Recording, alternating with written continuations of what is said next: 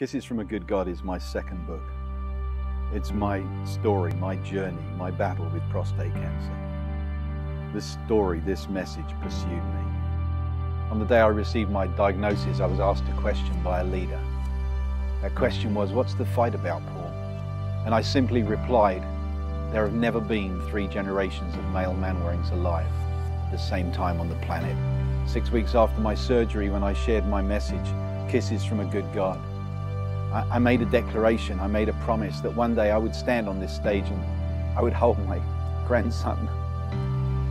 Sure enough, 15 months later, I got to do that. Kisses from a Good God's my journey. It's personal. It's, it's what happened to me. And, and my only reason for writing it is to share it, to encourage other people on their journey, whether they're walking through their own crisis, whether it's cancer or some other crisis, or, or whether they're walking someone else through their journey. See, God's good. He really is good.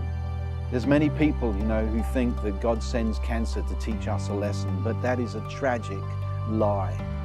God did not send cancer to teach me or anyone else a lesson. He sent Jesus to teach cancer a lesson.